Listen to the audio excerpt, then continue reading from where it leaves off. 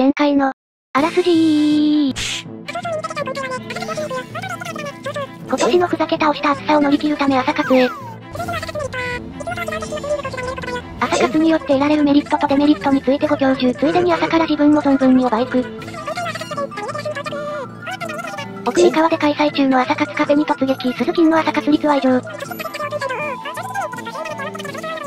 手作りオープンサンドに入れたてコーヒーで朝からゆったり贅沢な時間。念願の朝活ステッカーも手に入れてこれ見て朝活完遂。ってところまでが前回だったね。今回は奥三河のさらにさらに奥へと潜っていきます。行ってみようこの動画は、ミニペケちゃんこと GSXS125 にまたがる、マグロユッケによる元ブログだよ。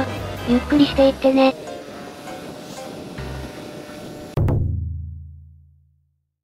というわけで皆様おはこんばんちは。どうもマグロユッケと、ミニペケだよ。よろしくどうぞ。あ、そうかダミネテラスからの続きか。そうそう、今回はここからスタートして、マグロユッケがあまり紹介することの少ないエリア、奥三河の東栄町とかあっち方面に向かって走っていこうと思うよ。東栄町、確かにこのチャンネルだとあんまり馴染みないね。そうなの、新城とか設楽町は結構取り上げ頻度高めなんだけど、奥三河は他にも豊根村と東栄町もあるからね。今回ようやく東栄町にフィーチャーしていけるってわけだよ。でもどうして今まで全然手つけずだったのにいきなり？それはやっぱり現在時刻まだ朝の9時半。いつもだと東栄町とか豊根村まで行っちゃうと帰り暗くなっちゃうなとか。あ帰宅ラッシュの時間とかぶっちゃうしやめて帰るかってなっちゃうんだけど、なんたってまだまだ時間に余裕がたんまりあるからね。なるほど朝。活のいいところはこれよ。モチベーションが全然違うね。今からでもどこへだって行けちゃうってわけだ。そういうことだ。というわけでここから道の駅したらの前を通ってええって行くと早いんだけど、いつもこっちの道がどこに続いてるのか気になってたから探検だぜ。うっしゃ一丁やるか。郵便ポストにバス停、案外メインストリートなのかな。やたら小綺麗な電話ボックスまであったな。今の若い子たちはテレカとかもう知らないんだろうな。なるほどなるほど、道の駅したらのそばを流れる川沿いに走ってる道なのか。ということは、なんだいつもの道とただ並走してただけだったのか。無念だったな。極端に無念。道の駅したらの朝活タイムは他よりも少し長いので、今から入ってもまだ朝活カフェに間に合うんだけど、今回はダミネテラスでゆっくりしてきたばっかなので素通りするよ。うおーのんびり走ってたらすごい勢いで詰められてたぜ。めちゃくちゃベタベタでくっついてくるな。でもまあバイク乗りでもそこまで不快に思うほどゆっくり走ってたわけじゃないんだけどな。まあ今でもピンクナンバーを見たら血眼になって追い越してくる奴らもいるしね。おかしいなさっきダミネ観音で奥三河の交通安全を祈ってきたばっかりなのに。お賽銭足りなかったんじゃね。宝くじ当ててください神様仏さ。しばらく走ると稲部方面と継方面に分かれる交差点が出てくるので、今回はここを直進して継方面に向かうよ。道の駅どんぐりの里など、稲部方面に向かうときは左折が時短になるんだけど、こっちからでも行ける上に、道中の道もかなりくねくねしていい感じなので、時間があっておバイク楽しみたい人はこっちから遠回りしていってもいいかもね。うよー、バイク楽しいーあーとととやばい曲がるのここだったか。いや今の青看板はさすがに誰も気づけんと思うよ。あ、そう、よかったよかった。見えてるの賞味1秒くらいだったもん。というわけでちょいと U ターンさせてもろて。ここを曲がって今日は東栄町を目指してみるよ。目指してみる？いや実はこの道走るの初めてなのよね。あらそうなのか。前々からこの道を曲がれば東栄町に行けるんだっていうのは把握してたから、特にルートとか何も調べずに突っ込んでみてるよ。ちょっとした探検要素も含んでるってことね。そういうことだね。お、東栄町の皆様おはこんばんちはマグロユッケでございまーす。おい、バイクはねえかお、青看板出てきたな。どれどれ。なるほど東栄町方面は左折で、直進だとしたらに戻っちゃうのか。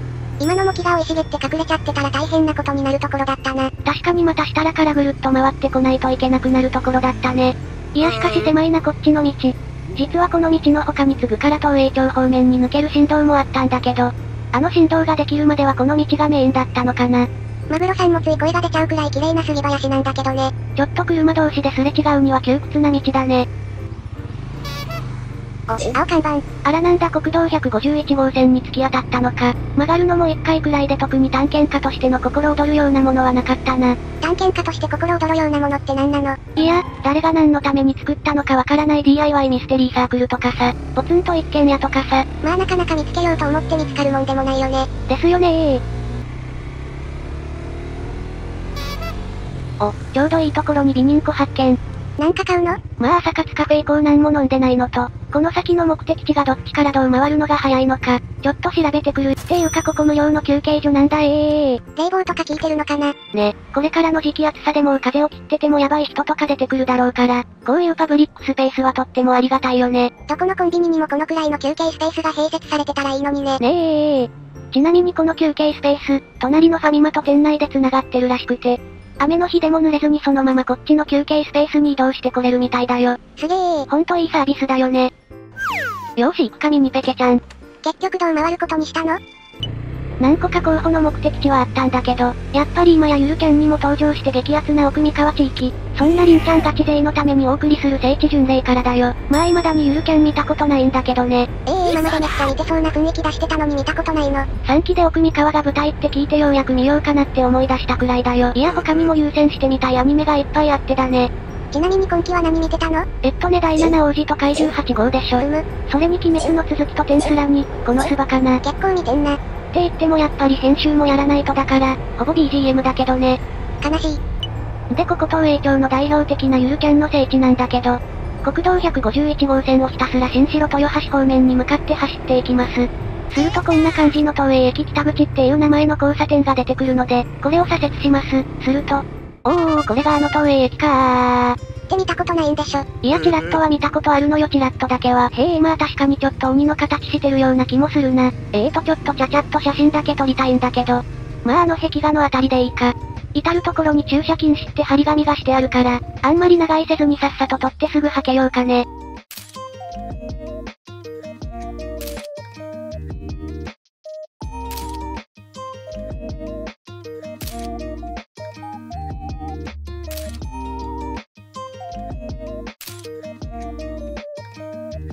太陽が済んだら撤収撤収。なんか駅舎の中にもカフェが入ってたね。そうそう、チャチャカフェっていう喫茶店が入ってるみたいなんだけど、モーニングを初めて作りのデザート、冬は薪ストーブで温められたおでん、店主さんがこっそりランチセットを始めたなんて情報もあるから、また今度お昼ご飯の予定立ててない時に寄ってみたいね。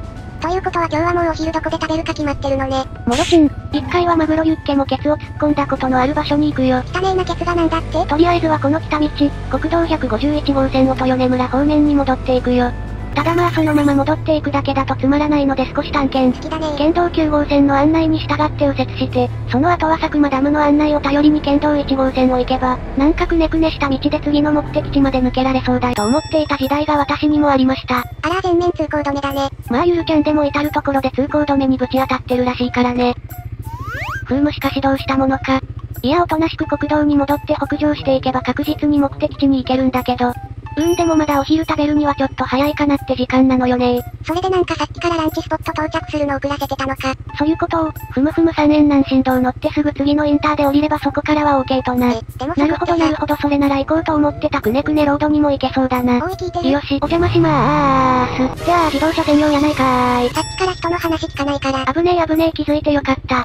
あ、こういう間抜けのためにちょっとだけくぐって U ターンできるようになってる。救いはあったな。おかしいなでもなんで当たり前のように行けると思い込んでたんだろう。あれじゃない？前にエリミネーターレンタルした時に乗ったからじゃない？それだそれが月日を経てミニペケちゃんで乗った記憶に改ざんされてたんだな。記憶力の低下って怖いね。というわけでしょうがない。国道151号線をだいぶ戻ってきましたが探検する。懲りねえな。ここを曲がればおそらく佐久間ダム方面に行けるみたいなので、ぐるっと回っていけるか試して合点。お、もう一回ここを右折するのか。なんかすごくくねくね走らされそうな予感。楽しそうで何より。いやーなんだここに出るのか。あそこにかなえさんがたまにイベント売ってるポ旅拠点があるから、まあ多少の近道になった程度だな。なんだ残念。というわけでこの信号を右に曲がります。右に曲がるとすぐ、東映温泉っていう奥三河屈指の温泉があるので、今はあれだけど寒くなってきたら夜のもいいかもね。で今回はここを通り過ぎていき、左手の小高い山を抜けたー。ここを左に入っていきます。わかりづらいけどなんだか見覚えのある交差点だったな。でしょでしょ。これをさらにさらに上に登っていきーのー。ここここここを左に曲がっていきます。お、もしやこの先の目的地ってご名答。東栄町立東部小学校に到着あれ？っていうのは冗談で今は野木山学校っていう名前の廃校利用施設になってて、そうだよね。いろんなイベントやフリースクールの開催、地域の方々の交流に使用されたり、今回の目的であるカフェや貸し出し可能な図書室まであるよ。ええー、いいね。ちなみに駐車場はご覧の通りじゃりじゃりなので、例のサイドスタンドプレートが役立つ時が来ました。あー隣のダミネテラスで一緒になった鈴金さんもプレートつけてるわ。やっぱりこう、なんか似た者同士なんだな。いやいやまだ鈴金には感染してないと自負してるからね。どっぷりな気がするけどな。というわけで小学校を探検。また探検するのか。なんたってまだそんなにお腹空いてないし、ここの木山学校は立ち入り禁止エリア以外自由に見て回れるので、小腹が空くまでうろうろ見て回ろうと思うよ。おう見て見てミニペケちゃん。うん？皆さんが静かになるまで5分かかりましたのやつー。というか先生じゃね？時計は止まってるけど体育館もしっかりと現存。そして体育館があるのなら、渡り廊下だ懐かしい屋根が瓦っていうのもすごく味があるよね。お邪魔しまーす。おお、昇降口だー。マグロユッケの小学校はマンモスだったのでだいぶ見た目は違うけど、これだよなー昇降口。ここからスリッパに履き替えて中に入ってもいいんだけど、一旦外に出てグラウンドを駐車場側に歩いていくと、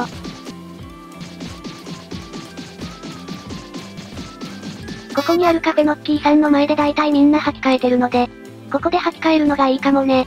ではいざいざ。うおー教室だー。おおほんとそのまま残してあるんだね。なんだかちょっと当時の様子まで再現されてる感じがいいね。乱雑に広げられてるランドセルとかね。ほんと一瞬まだ小学校として使ってるのかって錯覚するくらいそのままだけどよかった違うね。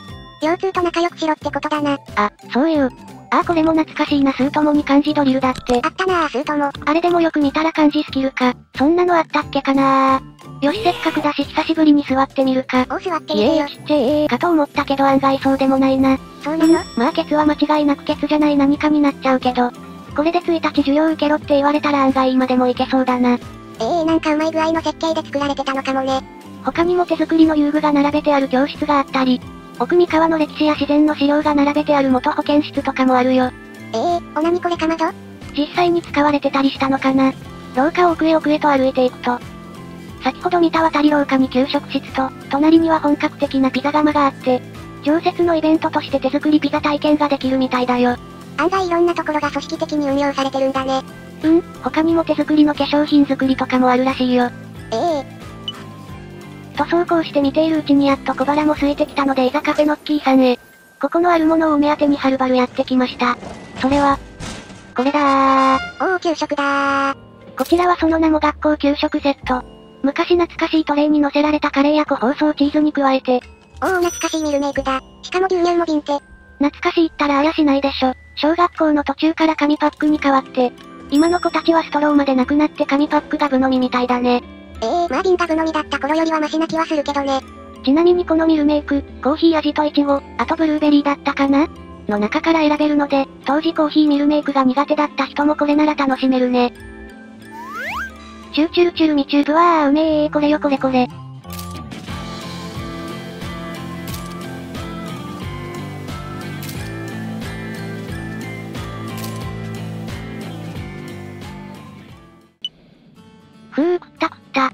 けになんかエモい心も充電できたし自然も満喫したし。あとは散々名前が登場してきた佐久間ダムでも見て帰ろうかな。あ、そうそうずっと気になってたその佐久間ダムってどこにあるの？それが日本でも有数のクソデカダムみたいで、もうちょっと北東に行った、愛知県と静岡県の県境にあるみたいだよ。ええー、そんなクソデカなのか。楽しみだね。てなわけでの木山学校を後にしていきます。あ、ちなみにここの木山学校が少し見覚えがあった理由は、以前バイクのふるさと浜松と連動したスタンプラリーイベントで校門前まで来てたからだよ。あー、なるほどそれで来た道にも見覚えがあったのか。そういうことだ。野木山学校からまっすぐ降りてくるとこんな感じで突き当たるので、これを左折して佐久間方面へ向かいます。うわあれすごいな全部しだれ桜か？春に来たらめちゃくちゃ綺麗そうだね。ねえ、しだれ桜が並んで咲いてるところなんてそうそうめったにないから、来年ちょっとここに見に来てみようかな。そして走り出してから15分ほどで県境到達。浜松市は天竜区に入って、時期に錦橋っていう信号のある交差点に出るので、これを左に曲がります。おおこんなところでおまわりさん張ってるわ何見てるんだろ。日陰にはいたけど暑そうだねねえ、倒れないといいけど。わはーんなるほど、そこの高速から降りてきたところが一時停止になってるのか。うおー天竜川やっぱりスケールでけえー。と天竜川を越えてすぐのこの青看板に従って左に曲がります。うおととととなんだなんだ通行止めのお知らせ？あれ、でも調べたら通行止めは6月17日の明日からになってるな。なんだろ、明日からのために早めにもう規制情報出してるのかな。さよなら明日も前の車も行ったしさっきのおまわりさんも行ったわ。まあでもどっちみち通行止めの理由が道路崩壊だったから。ダムの向こう側、豊根村のあたりはそもそも通れないか迂回ルートになるんだろうけど、行けるところまで行ってみるか。っておーなんじゃこの辺のトンネル怖えー。7なんかすごい手で掘りました感すごいね。うろおーこっちのトンネルもだなんだこれ。鍾乳洞の中走ってるみたい。おまけにこう対向車が来てくれないと。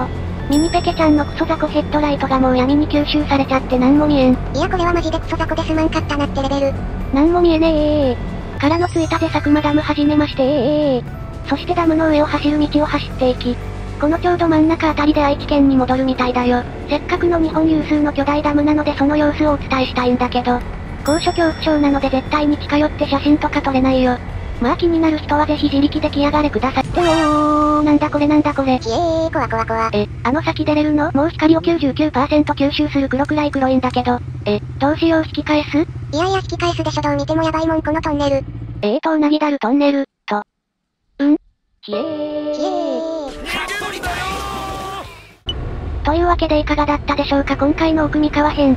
初めてこれだけ東栄町にスポットを当ててお届けしてきたんだけど、どうかな？東栄町、行ってみたくなったかな？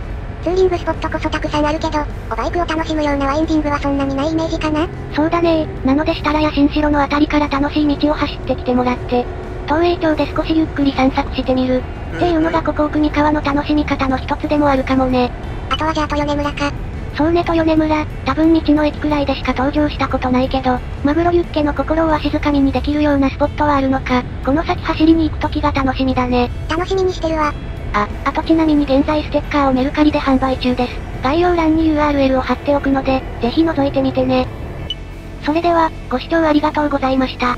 よかったらチャンネル登録、評価、X フォローよろしくお願いします。